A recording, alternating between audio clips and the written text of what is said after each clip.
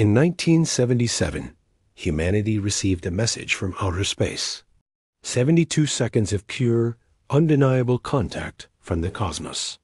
It was never explained, and it was never detected again.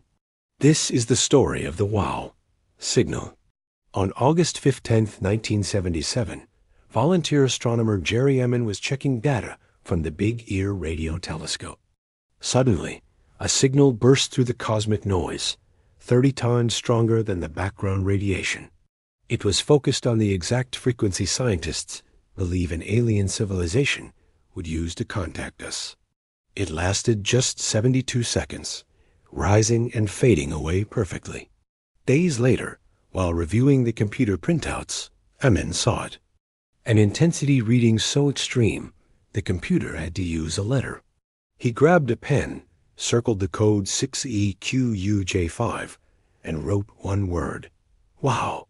For 50 years, astronomers have searched that same spot in the sky. They found nothing.